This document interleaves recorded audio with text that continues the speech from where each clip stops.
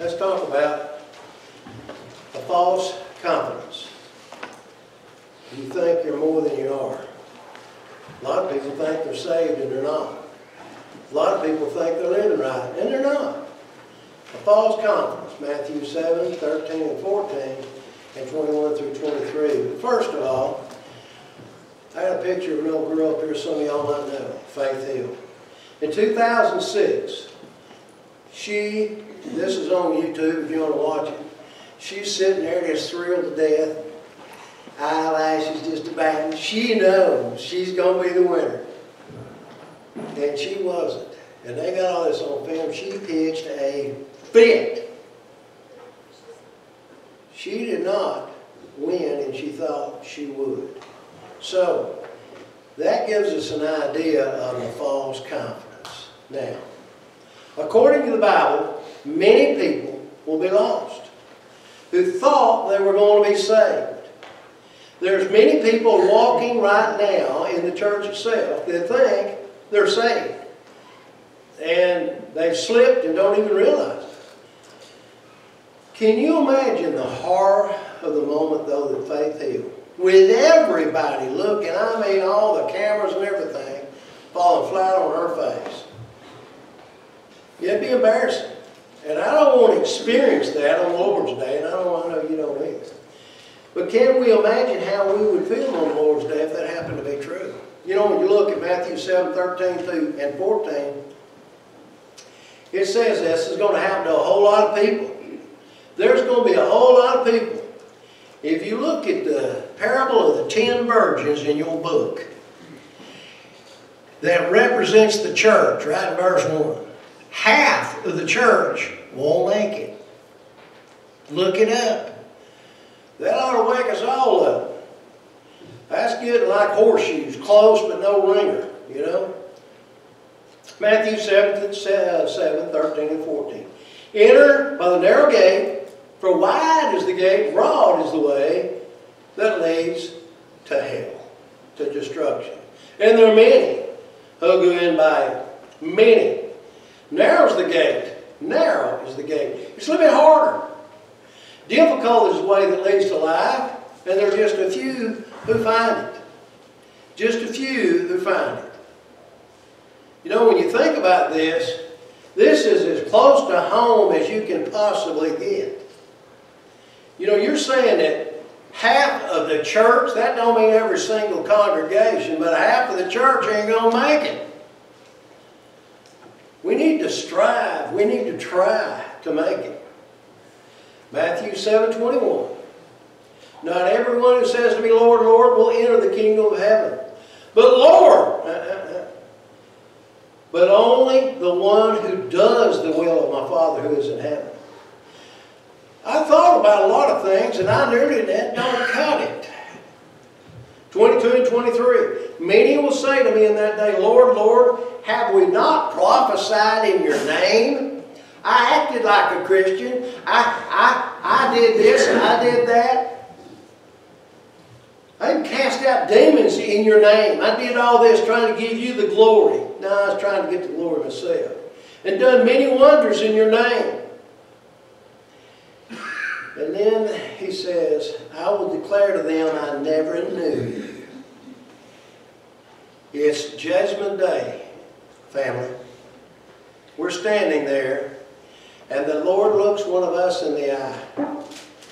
And he says, you know what, I never knew you. Depart from me, you who practice lawlessness. To know what that means, we have to study the whole Bible, the whole doctrine, and we have to do every bit of that doctrine. Not part of it. We can't pick and choose. We have to go for it with all we got. You're saying we have to be perfect. I say you have to strive to be perfect. You have to do the best you can. Let's examine how one possesses this false confidence. First of all, we overly trust people. Romans 3 4 says, Certainly not indeed, let God be true, and every man a liar, as it is written, that thou may be justified in your words and may overcome when you are judged. You know, I can't think of a better example in my little finite mind than this. God looks me in the eye and says, Depart from me, John, I never knew you. Excuse me, it's not my fault. It's his fault, her fault, their fault. Not my fault. Like I said, depart from me, I never knew you. Instead, we trust preachers. You know, I am so thankful. I see people taking notes in this congregation, write the verses down that I'm up here running my mouth about. Because, see, I study very hard. I do. And I try to use book, chapter, verse every time I open my mouth. But understand something. I can be misled by my own thinking. What I understand may not be exactly the way it's meant. I may be missing the message. And some of you may be too. And we've got to be willing to not trust the preacher 100%, back it up with this. Take those scriptures home and make sure that I preached the truth. People put all their trust in their parents. Well, you have to when you're a child. But I'll tell you something. Parents are no better than preachers. They can make mistakes, not on purpose, but by misunderstanding it. By not going on a little bit farther and looking around to see exactly what it, where's the message? It says Jesus wept, so you got to cry. Look at the message. Why did he weep? We got compassion. He had compassion. Authors. You know, I love, love some of the commentaries out there. They tell you the history going on back then because I don't have enough time and enough brain to find out all the little things that were going on back then. These people have. And I really enjoy reading what they've got to say. And I find out a lot. But understand something. I too take what they've said and I go to the scripture and I have to look at it. And if it really does say all these scriptures they're applying it to, then I'm fine with it. If it don't, that's where your sermons come from a lot. They come from it a lot. This one does. You see, I read something and I thought, whoa. So I studied that. And here we are. This wasn't what I started out to do. But I was like you. I was checking what I had seen. And when I'm reading this, I thought, I've never noticed that before. We're going to do that next Wednesday night in class. Spouses. You know, I, I preach love and marriage. I mean, I love it. And the man's supposed to be the leader of the home. As long as he's leading you right down the right path. But all of us, men and women, husbands and wives, we trust each other, but we need to verify, verify, verify. Because if your spouse is misleading you and you see it's wrong, are you just going to ignore it or are you going to try to save your spouse too? I would hope you'd save, try to save your spouse too. We, we put too much stock in a authority of the church, an elder, a deacon, a preacher, a teacher, or a bona fide Christian. They may know a lot. They may know it all. They don't know it all.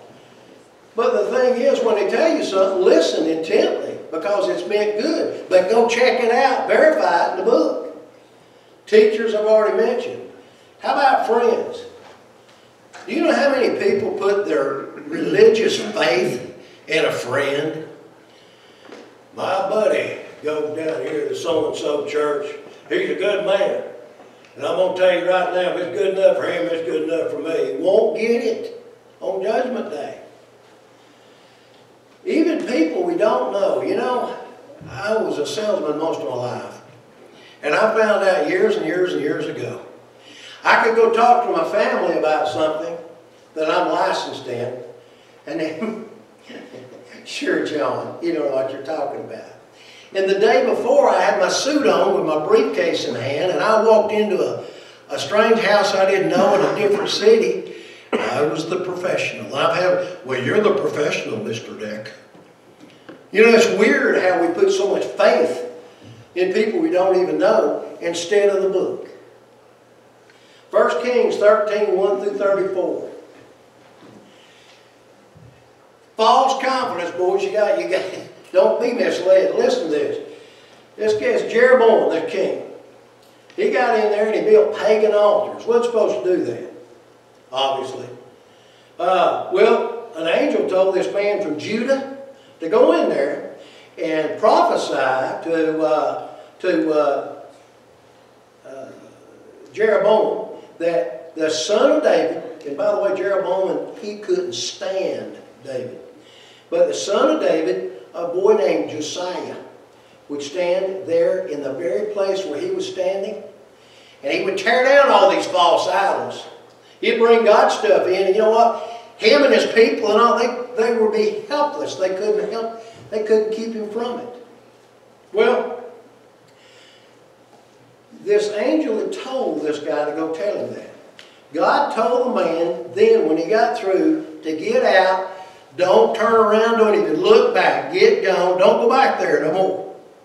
Well, he did exactly what he was told. Exactly what he was told. We're talking about putting your faith in the wrong thing instead of God. You'll get a false confidence that way. This man thought he was doing right. He did do right. Perfect. Until. All of a sudden, there's this other man, this prophet, heard about all this. And uh, so he said, where, where is this guy at now? And they told him which way he went. Well, he runs him down. He said, hey, I'm a prophet. And an angel came to me and told me to tell you to come back to my house and eat. And uh, what did this guy from Judah do? Really? Okay. So he goes back. He comes back with him to eat. He returned. I thought God told you not to. Yeah, but this guy's a prophet, and an angel told him to come and tell me to come back. It's the reason I did. The reason I go to this different name on this building here, not the church that Christ established in Acts chapter 2, is because my friend said, my mama said, my daddy said, my buddy said, won't get it. This guy here, this prophet said, then the angel, which is nothing but a liar, told the man from Judah he had disobeyed, disobeyed God's commands. An angel really did tell him to tell him that. And he also said, you won't even get to your father's burial grounds. Really? So the man from Judah wised up and he left. He left. He disobeyed God because he believed what this other guy said. How many on Judgment Day will go to hell because he said, she said, they said? We'd better go to the book. Better listen to God and God only. The man was eaten by a lion. So uh, people go by and they see there's lions standing there that killed the man. But he didn't eat his body up. He didn't even eat the donkey. I just see a big lion standing there going, I don't know what I'm doing here. You he killed that guy. And here stands that donkey going, I ain't believing this, he's not eating me. And here's his corpse laying there for all these people. Well, the liar heard about it. He said, let's go find him. So they go down there and there he was. There he was. You know, of all people, the liar, the prophet that was a liar about that, he's the one that really started believing God. He's the one that really corrected himself. And you know, that's, that's good for him, except for one thing. What I saw when I read this, that liar that straightened himself out caused another man to fall from God's commands. He was a stumbling block. And I want to tell you something, folks. I mean this with everything in my heart, mind, and soul. I want to go to heaven. But I do not want to be the cause of you not going to heaven. I don't want to be a stumbling block. And I hope and pray that you feel the same way. That's a good example of what not to be, the liar. 1 Timothy 4, 1 and 2 says, Now the Spirit, the Holy Spirit, expressly says that in later times, I think we're there. Some will depart from the faith, giving heed to deceiving spirits and doctrines of the demons themselves. That is such a sad verse because we know it's here. It is here, not 100%, maybe 150%. Speaking lies in hypocrisy, having their own conscience seared. In other words, they don't even have a conscience anymore. It's burnt, done. If those two verses are not true, which they are, then we wouldn't have an extra 40,000 different man-made religions out there. 40,000? Some of them have twisted just a little bit, and some of them have gone completely wacko. There's just one, Ephesians 4, 4, and 5. Just one. The faith. The faith of Jesus Christ, the doctrine of Jesus Christ, and His Father who sent Him. Period. No more. We overly trust our own works. You don't know what all I do, preacher. I do so much it's not even funny. Many have false confidence because of what they do or have done years ago. I've done my share. It's time for me to sit here now. Oh, I've been there. I've done this. I've done that. Let somebody else. Well, there ain't nobody else. When I was growing up, you remember the guy with the American tall hat on, Uncle Sam, saying, I just need one good man. We're there. We just need one good man. Huh.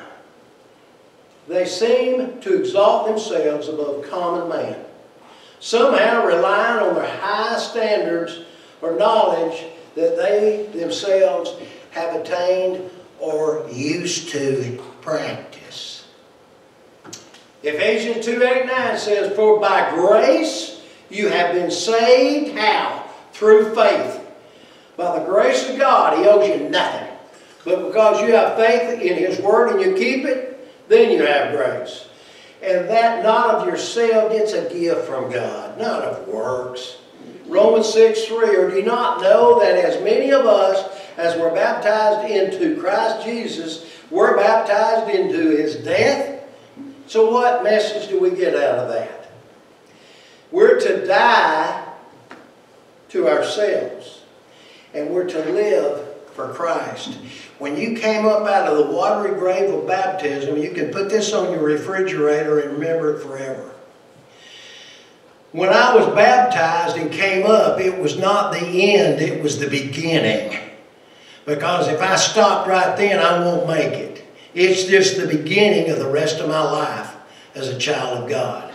I've got to study, I got to grow, I got to love, I got to teach, I got to commit 100%. Lest anyone should boast, kidding yourself.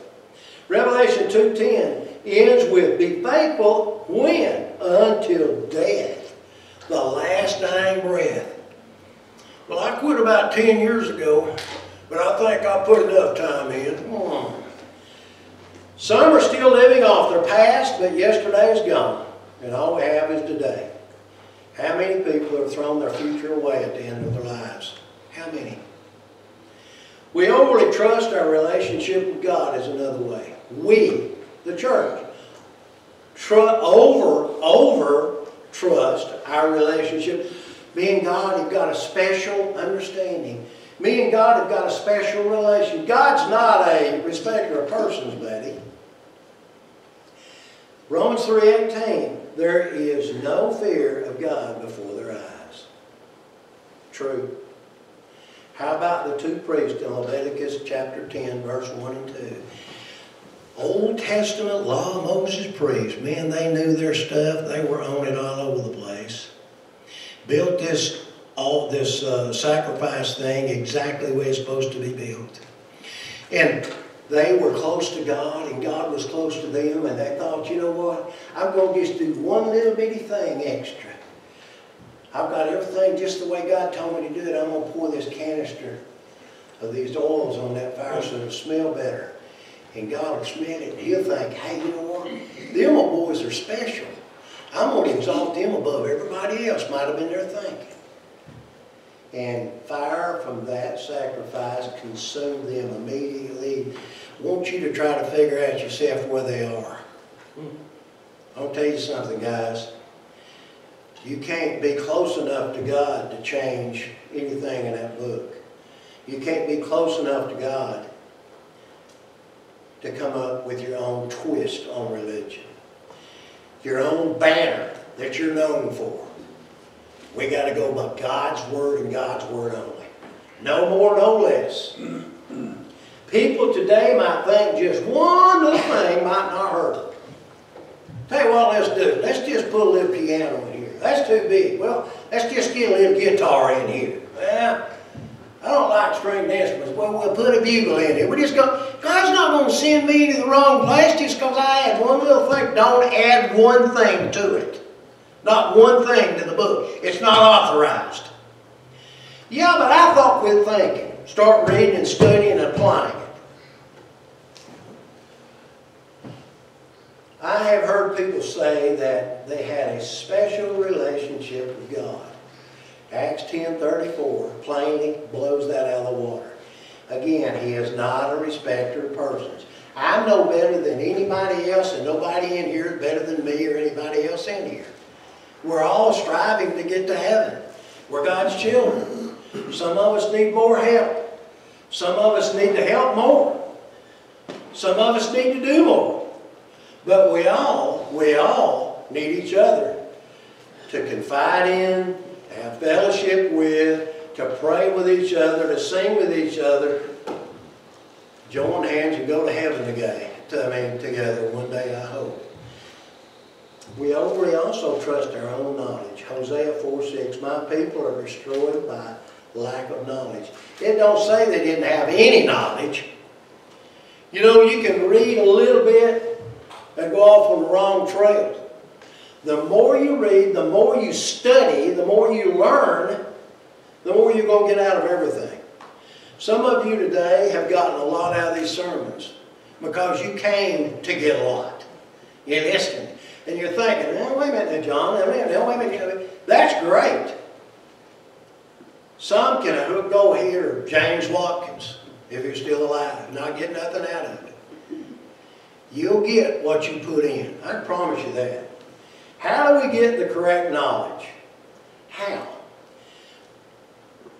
1 Timothy, 2 Timothy 3, 16 and 17 says, Through all Scripture we become the man of God, complete and perfect.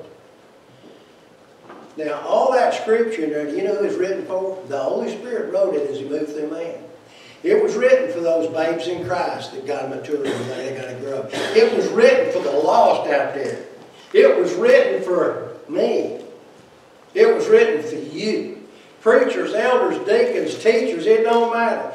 It, we need to study constantly. I've had people say, oh, John, I studied that Bible. I, I, my eyes are turning orange, man.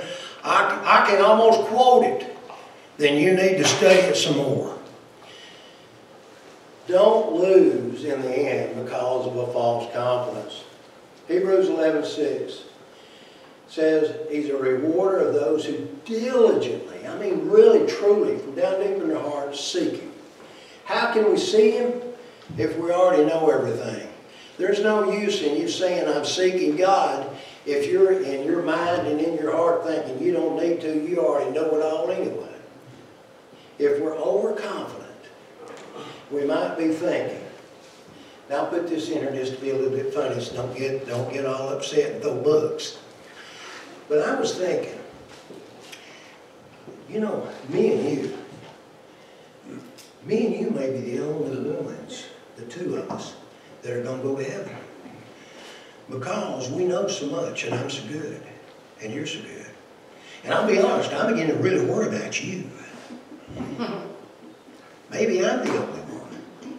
Maybe the real attitude of some people.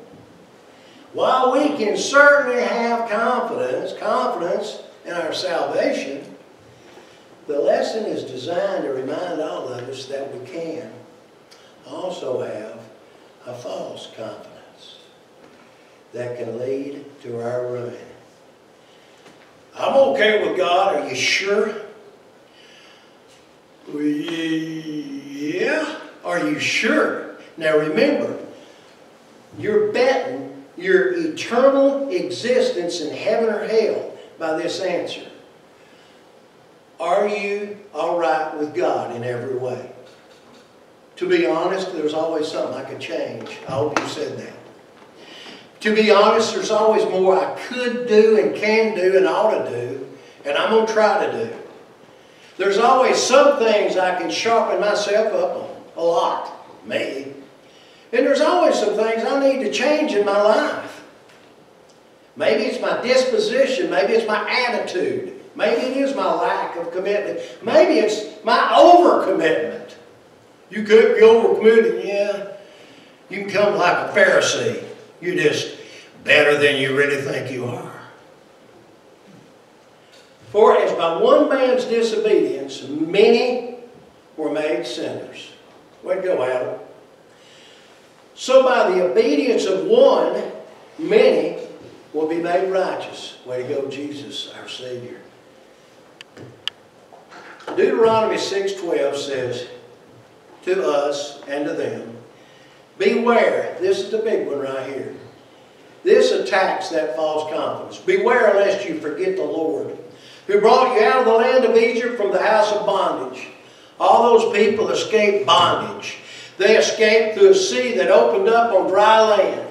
They did all this, and it wasn't even long at all they forgot God. People have raised up out of that baptismal. Christians, maybe recently, maybe decades ago, but they forgot about the Lord. They forgot about the real works that you're supposed to have in your life. 2 Peter 1, 12 through 15. So I'm going to mimic this and say I'm saying the same thing, and I hope you're saying the same thing, because we're all priests and saints. For this reason, I will not be negligent, church, to remind you always of these things, though you know and are established in the present truth. You know a lot, just like I do. Yes, I think it is right, as long as I am in this tent, in this body, to stir you up by reminding you, and you stir me up and remind me too. Knowing that shortly I must put off my tent, I will leave this body, and you will too. Just as our Lord Jesus Christ showed me, moreover, I will be careful to ensure that you always have a reminder of these things after my decease. Wouldn't it be wonderful that every one of us, when we left here, and all the rest of the family is thinking about us being gone, and everyone in here, about each one of us, said something like, I love that person. They meant a lot to me. They were a great example to me on how a Christian needs to walk, talk, and think. I'd love to have that, and I know you would too. So the steps of salvation. Got it all laid out here pretty good. God has to do His part. God sent His Son to be killed on the cross of Calvary, to shed His blood. The Holy Spirit wrote every bit of this in the book, The Plan of Salvation. All for me and you. Now I've got to hear that word and I've got to believe it with everything in me. I've got to then be able to repent of my sins and do something that this thing is talking about through the whole thing. To not have a false confidence to search my soul. Nobody can search my soul but God and me. I search my spirit and I see any faults. I need to correct them. And I can correct them if I'm a child of God in one breath. God, forgive me of this or that. It's so easy. Then and then only, I'll confess Jesus to the world and then I'll be baptized for the removal of my sins and be added to the church of the Lord himself. And then as most of us in here are already saints, I've got to remain faithful. Is there anything you need to correct in your life? If there is, we're fixing to stand and sing, come forward, or do it you're sitting, depending on it's public or not.